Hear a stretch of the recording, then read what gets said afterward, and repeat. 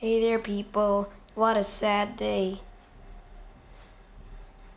It's all because my tomato clownfish died. I need some clues why that this happened.